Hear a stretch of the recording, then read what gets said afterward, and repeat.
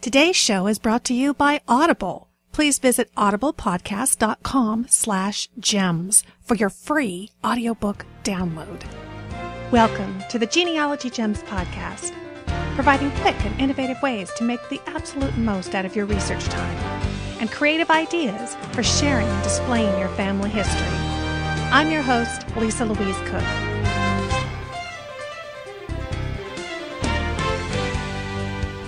Hello and welcome to Genealogy Gems podcast episode number 138. In the last episode, we took a big bite of food family history, and in today's episode, I've got part two of my interview on food family history with Gena Philibert Ortega. She's the author of From the Family Kitchen Discover Your Food Heritage and Preserve Favorite Recipes. Now, you know what they say the way to get to a man is through his stomach. Well, I think you could also say that the way to get to a genealogist is through their stomach because I've received a slew of emails and messages from all of you out there about your culinary family history. It's been fantastic. Now, Alvie in Lakeland, Florida, who has written in before, uh, he wrote in to say, I was up at the crack of dawn and rode my bike around our favorite lake in Lakeland. While pedaling, I had my iPhone tuned into your podcast about family cookbooks. I was not blessed to know either one of my grandmothers. My mother's mother died shortly after her birth, and my father's mother died over five years before I was born. I have had many paternal aunts who were supreme cooks. So many of them cooked by being taught those tried and true recipes handed down for generations. I've watched my Aunt Martha cook and never saw her pick up a recipe. One of her favorite was buttermilk pie from Fresh Farm Buttermilk on their farm. Annie asks a question. He says, Would it be possible to share the recipe for the cookie? Was it a sour cream cookie? The one your husband loves. My wife loves to bake cookies to share, and she has all sorts of recipes, and folks rave about her cookies. He says, I will be going to a family reunion in Cullman, Alabama the weekend before FGS. We'll get to dine on some of that delicious food at the Davidson White reunion. Well, Alvie, you will find the sour cream cookie recipe that I talked about in the interview. It's at the bottom of a blog post that I did a while back called Family History Never Tasted So Good. You will see a picture there of my husband with his Nana when he was a little boy.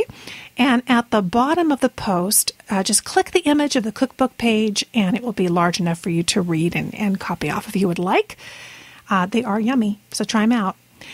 And uh, here's an email from Tina. She says, I've been watching your video about the Toast-tite. I remember we had something similar, although it wasn't called a Toast-tite when I was growing up in Brazil, except that it was square, which kind of makes sense because the bread is square.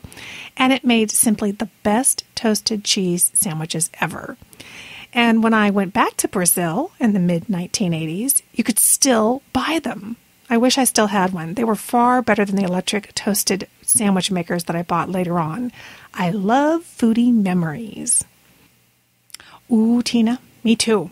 And, uh, you know, Tina's talking about the video that we did. Uh, Gena and I got together in the in my kitchen, and we were cooking with an, the old Toast-tite, uh, which my grandmother had back in the 1940s. Um, so if you haven't checked out the video, you got to check it out. And if you're a Genealogy Gems app user, you'll find it in the bonus content. We tucked it in there, uh, but it's also on the Genealogy Gems YouTube channel. Well, when Lacey and I were cleaning out the garage last weekend, and we were looking for some items that she might be able to use when she moves out on her own, and we came across a box of old kitchen utensils that I inherited from my maternal grandmother. And we opened up the box, and Lacey's like, oh, ick, this is old stuff. but I just gasped because there, laying on the top, was yet another Toast-tite. Can you believe it? Since I just made up a fresh batch of peach jam, you guessed it, we made peach pudgy pies. They were so good.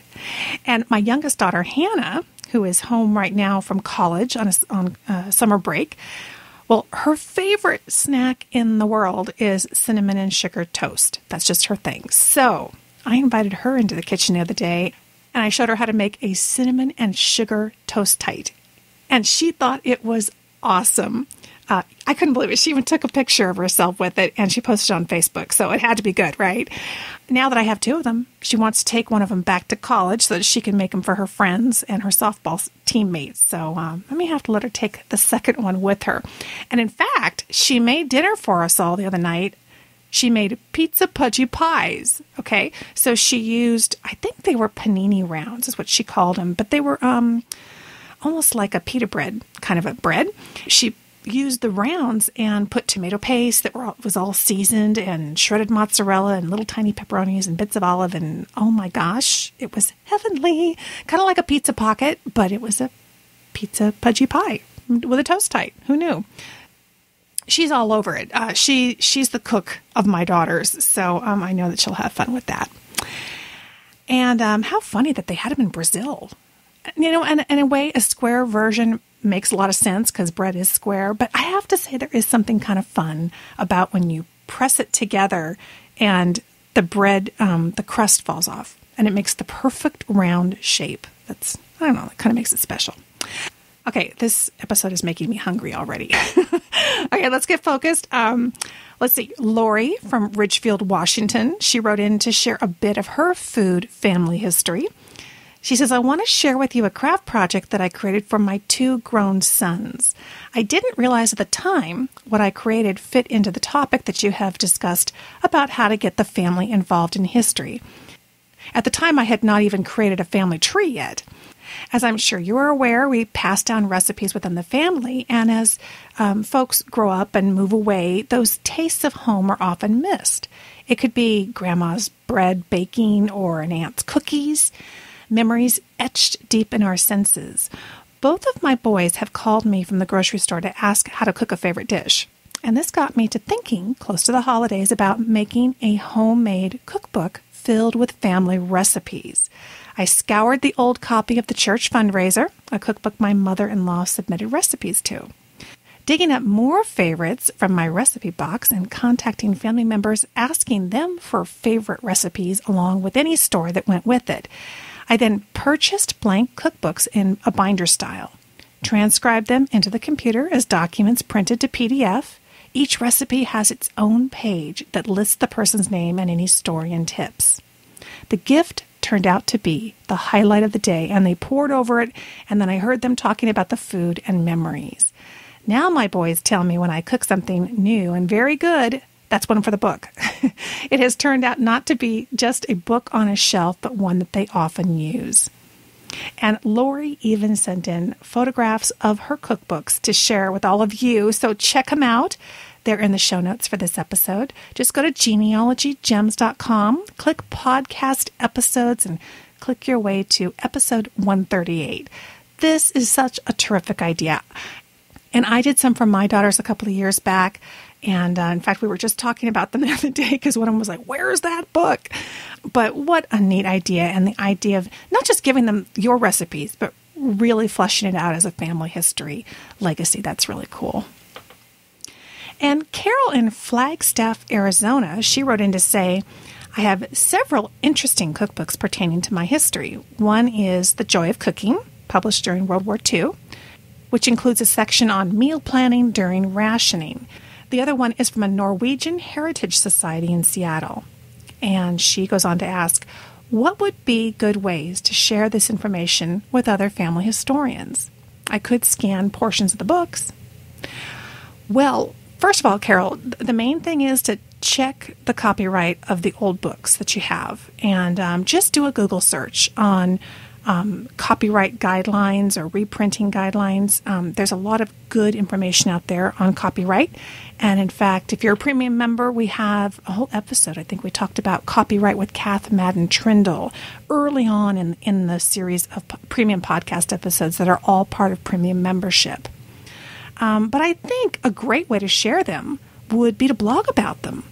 And if you want a quick and easy way to start blogging, all you got to do is watch. I have a free video series at the Genealogy Gems YouTube channel, How to Blog Your Family History.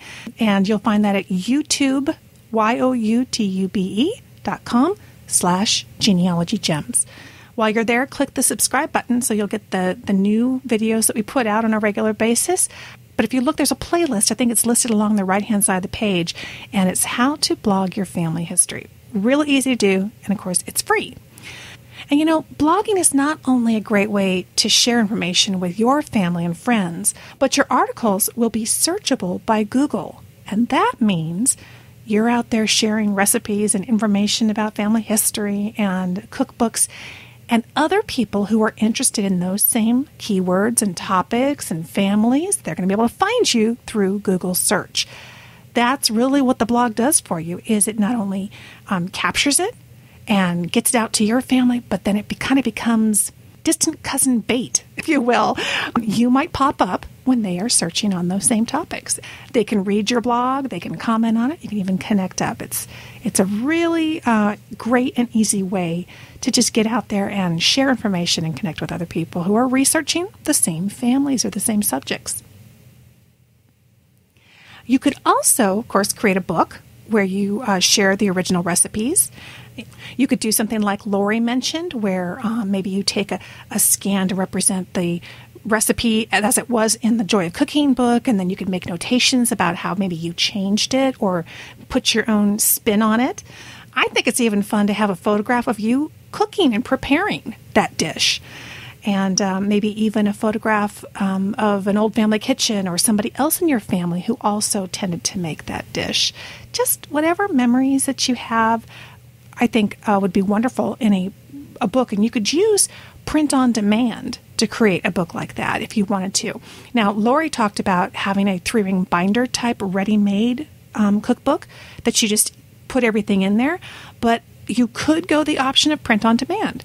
And I do have a series um, of podcasts. They were premium podcast episodes just on that topic how to do print on demand for family history books. And certainly a food family history book falls in that line. And a couple of those episodes also have companion videos so that you can really watch me using the service on the computer screen because you create the book online right from your computer.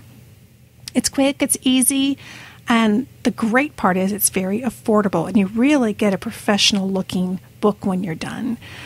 The beauty of print on demand is that you only pay for exactly the number of books that you want. So there's no minimum order. Like in the old days, you had to print 500 copies of whatever the book was.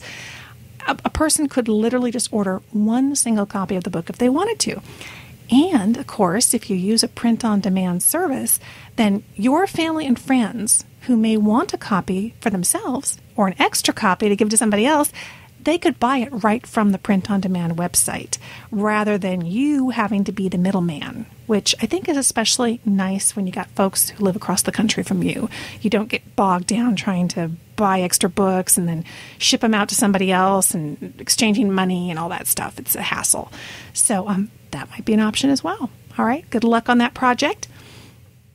And Sean absolutely cracked me up with his email. He says, I finally caught up on the Genealogy Gems episodes that were in my queue yesterday.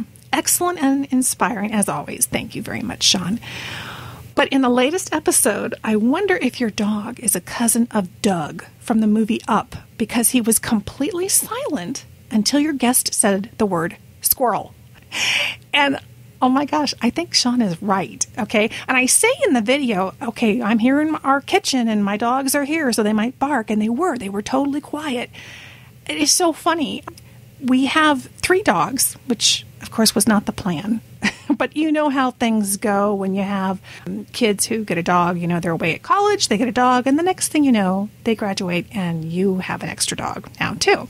Well, anyway, we have a really big backyard with um, trees, and there's one squirrel that lives just out there, and I think it just lives to torment my dog Howie and Lacey's dog Dakota. Now, Howie is the one that you hear in the video who would just bark like crazy. He, that's so funny. He did it at the moment that I think Gena was talking about squirrel. It was a recipe for cooking squirrel or something. Sometimes, you know, I'll just be walking by the back sliding glass door in the kitchen family room and I can see Dakota way out there at the corner of the yard, and she's just sitting for hours under this one tree, frozen in place, looking up at this squirrel. And the squirrel just sits there, just high enough to be unreachable.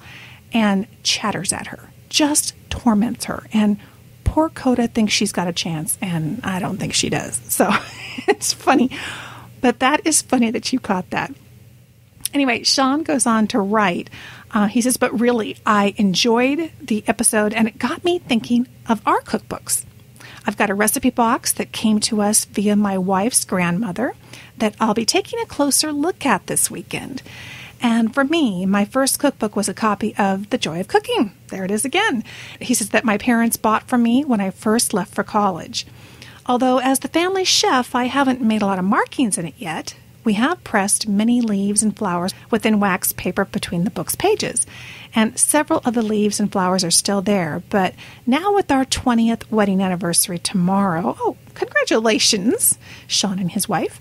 Uh, he says, I'm going to take some time with Jennifer to see if we can identify where and when those artifacts were saved. You know, Sean, I think it would be really great if you started making notes in the margins like that a recipe is someone's favorite dish or the first time you remember making it. I think we could all do a little more to uh, share those food memories with our descendants. We should be doing that too, huh?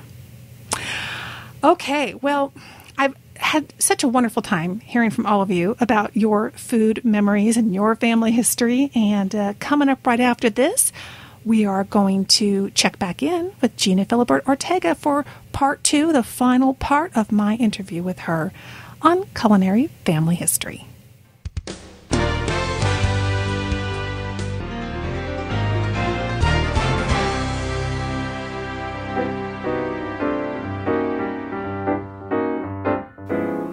It's here, the new version 5 of the award winning RootsMagic genealogy software. It makes researching, organizing, and sharing your family history easier and more enjoyable than ever. If you're looking to take the next step in your family history research and start recording your family tree in your own genealogy database, or if you've really been wanting to make a switch to a much more user friendly program, then do what I did. I chose RootsMagic, and I'm really glad that I did. Throughout its 10 year history, RootsMagic has helped people research and share their family trees with innovative features like uh, moving people from one file to another with your mouse, a source wizard to help you document your work, creating a shareable CD to give to family and friends, and running RootsMagic off of a USB flash drive when you're away from home. RootsMagic also received the award for easiest to sync from FamilySearch for their work in interfacing with that system. Really, what are you waiting for? Download your risk free trial of RootsMagic 5 at rootsmagic.com. See why professionals and beginners alike choose RootsMagic at rootsmagic.com.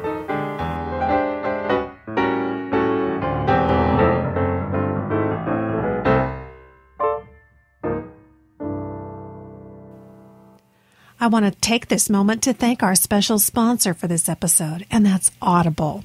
Audible is the internet's leading provider of spoken audio entertainment. They have over 40,000 titles to choose from. If you have a genre that you like, they have it covered. If you go right now to audiblepodcast.com slash gems, you can get yourself a free audiobook download when you sign up for the service. And if you're wondering which book to get with that free audiobook download, how about A History of English Food by Clarissa Dickson Wright, who will take you on a journey from the time of the Second Crusade and the feasts of medieval kings to the cuisine of the present day. She gives a vivid sense of what it was like to sit down to the meals of previous ages in an insightful and thoroughly entertaining way. This is a magnificent tour of nearly a thousand years of English cuisine, peppered with surprises and seasoned with Clarissa Dickson Wright's characteristic wit. A History of English Food is just one of about 40,000 audio titles to choose from. Get started with your free audiobook by going to audiblepodcast.com slash gems.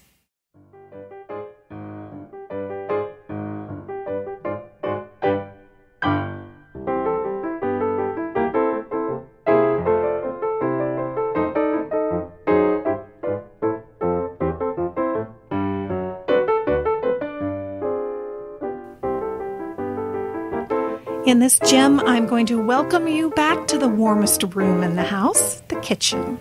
here amongst the pots and pans, we're going to meet back up with my friend Gena Philibert Ortega, author of the book From the Family Kitchen Discover Your Food Heritage and Preserve Favorite Recipes.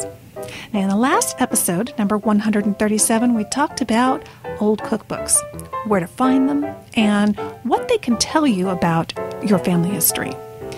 In this final part of the interview, I get to turn the table on Gena a bit and ask her some of the food family history questions that she encourages her readers to ask in their families. So here's part two of my conversation with Gena.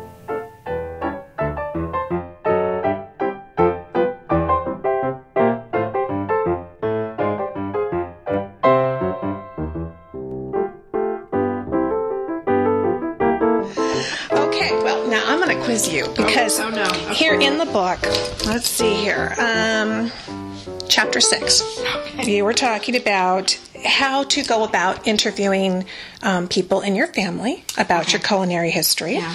So let me ask you some of your own questions. Mine's probably not as exciting.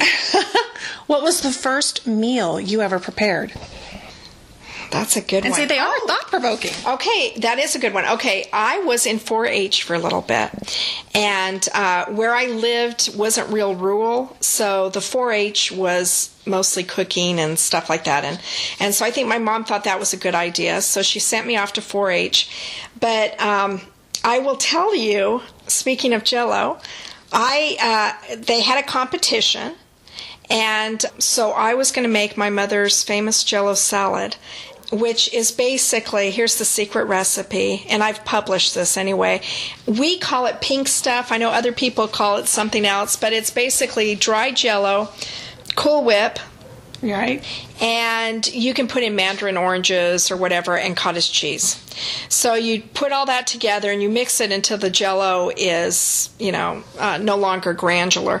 And um, that was what I went and you know, um, showed my best, and the judges did not like it. so um, that was the end of my 4 H career. But I did make several meals out of 4 H. But what was funny is that um, the 4 H teacher was teaching us all these shortcuts like shake and bake and stuff, and my right. mother just thought that was terrible.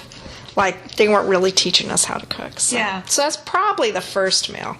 Interesting. Okay. Now, what did you eat at your grandparents' house, and was it different than what you ate at your house. Oh, definitely. Yeah. Definitely. You know, uh, my maternal grandmother had a huge garden.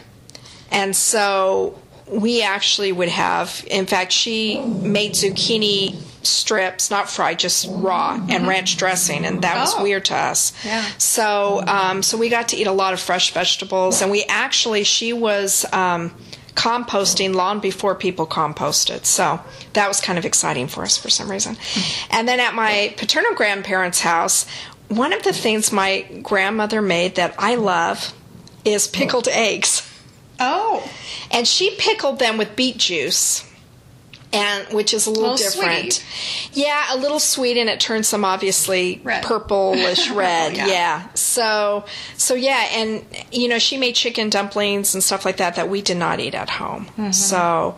Um, so definitely it was much more exciting at other people's houses. I wonder now what nationality was the grandmother making the pickled you know, what's funny is people have told me that that is Pennsylvania Dutch, and she is not Pennsylvania I was thinking Dutch. German. Yeah. yeah and uh, she does have German, so it might be her grandparents were German. That might be what it was. Mm-hmm. So, um, unfortunately, you know, all my grandparents died when I was in my early 20s. And so, you know, all those questions I could have asked them yeah. I didn't get to. So, but I'm sure it must have been a German thing.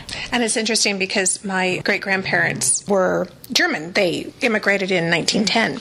And I didn't put it together until years later that my mother used to make um, cabbage rolls. Oh, sure. Cabbage rolls and sauerkraut. I love sauerkraut. I couldn't stand either one, and I would just look at her and, what are you doing? Yeah, no, mother makes that. Yeah. now I realize, oh, mm-hmm. okay, this comes from her maternal line and the, the German cooking. So, yeah. and it's funny because I think my tastes now, later in life, are actually turning back to vinegar. Yes. Isn't that funny how yes. it changes? Yes. Well, I love sauerkraut, and it's good for you too. Yeah, so, yeah. cleans out the the uh, Helps your stomach. passageways, helps your stomach. Have you ever raised your own food, either growing up or today? You know, I have had a garden. Uh, in fact, at one point when we lived in our other house, I had an artichoke plant, and those are always fun to raise. So I have never raised animals, though, for food. Not not much of that in California, unless you live in a really rural area. And, I had chickens here in the Oh, did backyard. I did for several years, and um, we didn't roast the chickens. Although I heard Oh, okay. all kinds of stories about my grandmother, you know, twisting the neck and Yeah. they were done. But um, we did them for eggs, and I have to say the eggs were bet. so much better. Oh I my bet- gosh! I bet they were. Yeah. My mother actually, they had chickens and rabbits, and uh, they even ate pigeon once, and so yeah. But at our house, we did not do that. But that's funny that you mentioned artichoke because I had I've had artichokes in the backyard, and um, that shows your California roots, doesn't it? It does, and I love artichokes, and I'll tell you, those are hardy plants. And there are people who've never had an artichoke. That's right. That's right. And they're basically a thistle. They are. They're hardy. They're like a weed. And and yeah, and if you let them go, they have a purple flower, and it's really beautiful. Yeah. So uh, that can happen. But yeah, my husband actually tried to destroy it and mowed over it several times, and it still came up. No, they come back. Although That's I right. found that the ants absolutely they adore love them. Yes. Yeah. Yeah. That's the only bad part about that. All right. Well, and, and the other big question I wanted to ask, because it, it really caught my eye in the book, was um, did you go out to dinner very often when you were young? Because the whole idea of dining out is um, very common in some families, rather foreign in others. And I know for us, boy, if we were going out to dinner, my first question was, oh, is grandma in town? You know, because it was a big deal. Yeah, and I'll tell you, when I was writing about that, that was a hard thing for me to write about because we did not go out to eat. Right. And um, I remember maybe as a teenager going to places like Carl's Jr. and stuff like that, but we did not go out to eat often. Well, it was considered to be very frugal. You could Yes. literally cook cheaper at home. You know, it's funny. right. I find nowadays, I find that sewing at home, which I love to sew, cooking at home, oftentimes I can't do it at the same price that I could just go out and pay for it. Yeah, and you know, I when I thought about the restaurant portion and menus and that kind of thing, you know, I kept thinking, well, how many people really got to go out? But there, it, it really matters what your situation was in life. We did not because we didn't have the money, um, and I don't. I mean, obviously there were restaurants where we lived, but um, there But wasn't a lot of fast corner. food. They weren't on every corner, and it was a rare treat to go out. I don't even know that we went out for our birthdays most of the Yeah. time. Um, but I know that, you know, when you look at beautiful menu collections from uh, New York Public Library, LA Public Library has them, both of those places have them online, that people have been going out and, and enjoying. You know, restaurant food since the 1800s.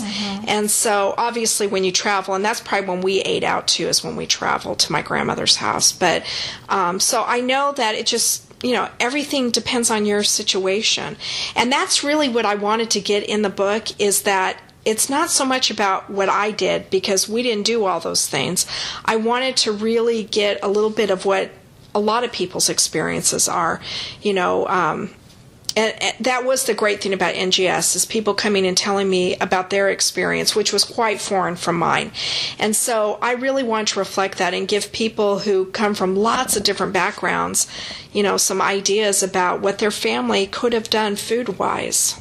And and that is really key and that's what comes out I think as you go through the book is that there were so many different experiences and in a way you really can't fully appreciate how diverse your ancestors were until you explore their culinary history um, because it, it is such a shocker because you'll talk to somebody and they'll say you guys never went out to eat? Yes. What? Oh my gosh, it was Saturday night. We always went out. And it was interesting because in one of my eBay searches that I had set up um, on my husband's grandfather's ship, the Tunisian, the SS Tunisian, that he came over in 1912, one of the alerts that came back one time was a set of menus from the ship itself. Sure.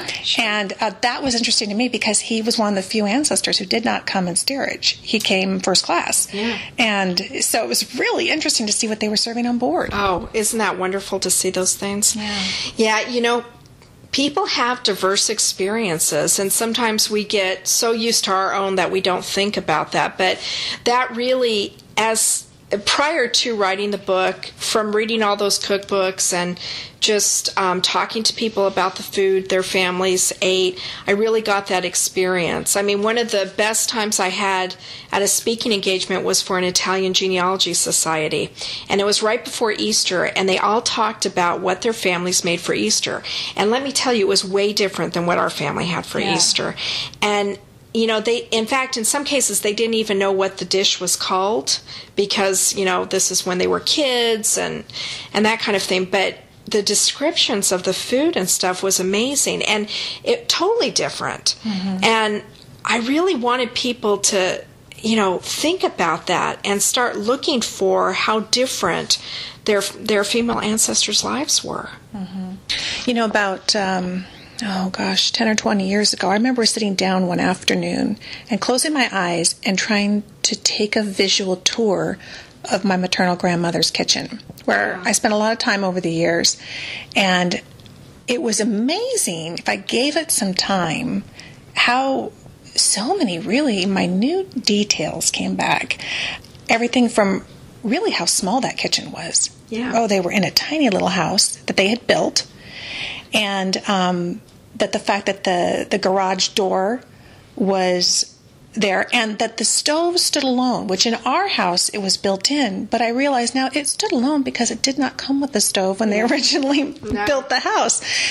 And the number one thing i remember was Wheat Chex and check cereals kept under the sink which my mother just thought was just awful and she changed immediately when she got her own house. And those bright jewel colored tin cups. Did you ever have those? No. and they would clink on your teeth but they were very 40s yeah. Tell us about one in one of your grandmother's kitchens. You know, um, I can visualize my maternal grandmother's kitchen as well. And what was funny about that kitchen, you know, it was painted um, kind of one of those 40s greens, you know, and um, it was a really big room because there was the kitchen part and then you know the the table and everything the dining room was part of it Right. but what was funny about her kitchen was now, I'm not sure who built the cabinetry. My grandmother, I'm not that tall, but my grandmother was.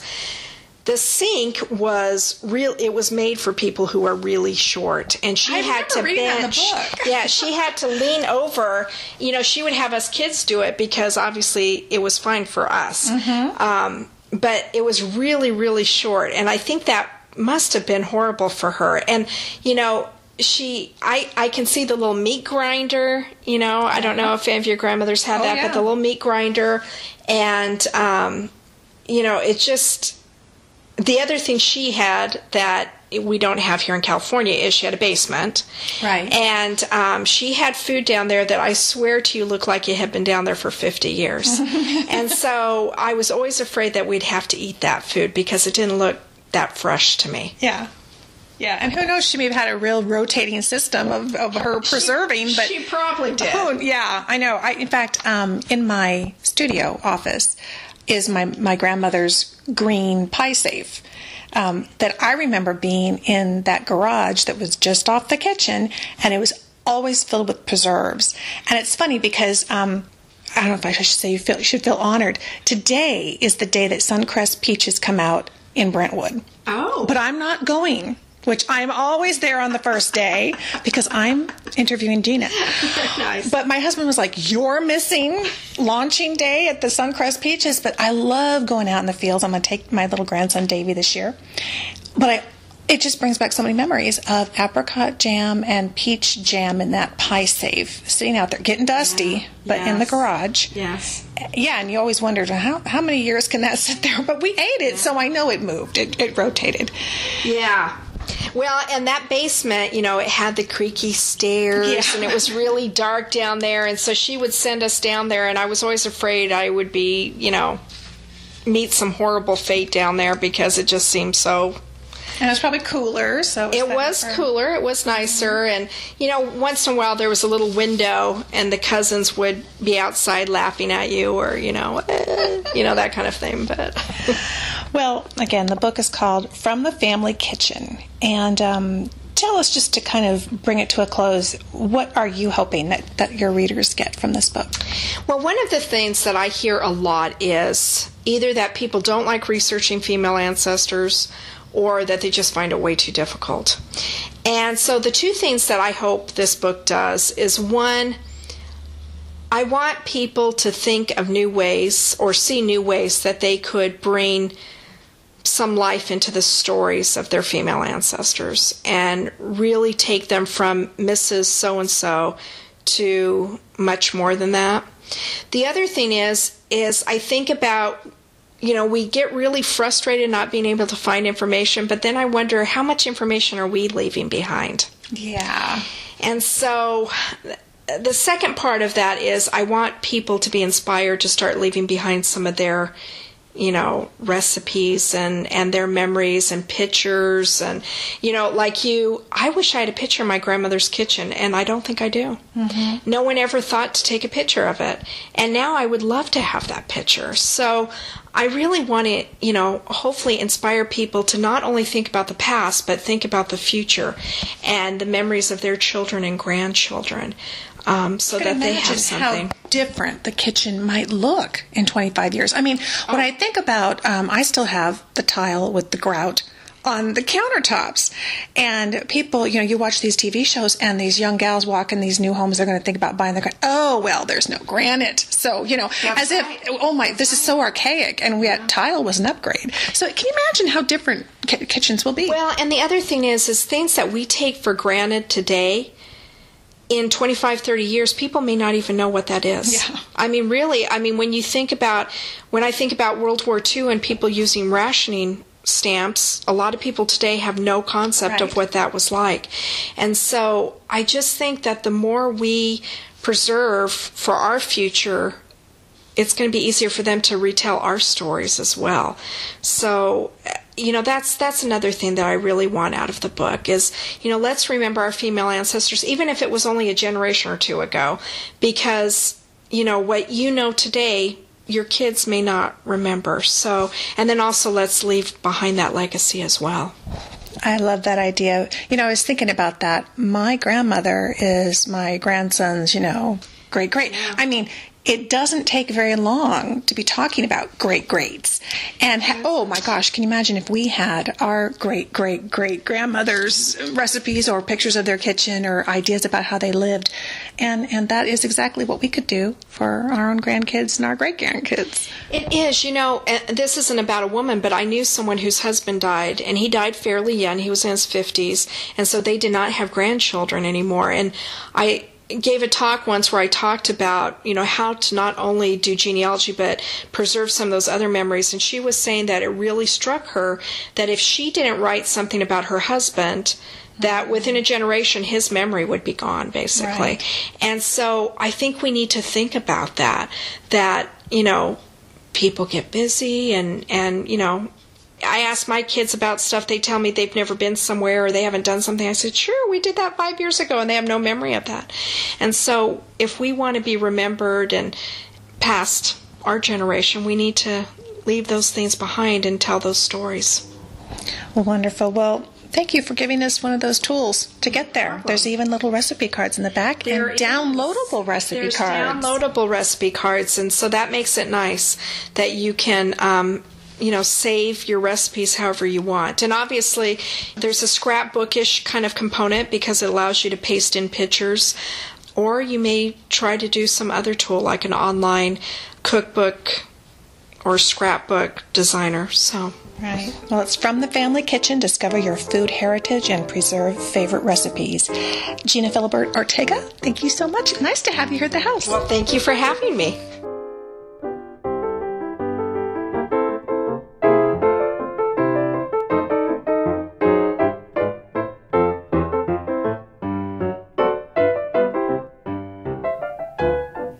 Had so much fun getting together. It was really fun that she was able to come by the house and chat with me and with all of you. If you would like a copy of Gena's book, I've got a link for you in the show notes, of course. And we always have the Amazon search box on the Genealogy Gems homepage for you.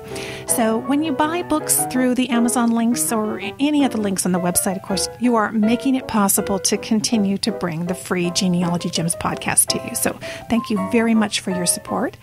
I really hope that you've enjoyed this look at family history and food and that it's inspired you to rummage through the back of your cupboards and ask around the family for those recipes, cookbooks, memories, and even old cooking utensils so that you can bring your family's culinary history back to the forefront and preserve it like a ball jar of good peaches.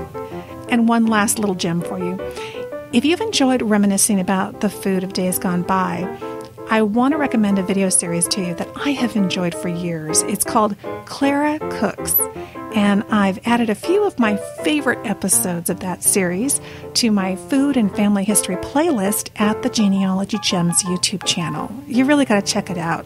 Clara is in her 90s, and she talks about Depression era cooking and what it was like when she was growing up. Just go to youtube.com slash genealogy gems. Scroll down, you'll find the playlist um, Food, Family History in the column on the right hand side of the page. In that playlist, you'll also find, of course, my video interview with Gena and our little cooking in the cook kitchen segment. Clara Cooks is just a wonderful, sweet video series, and she shares some really good, simple recipes. So, bon appetit!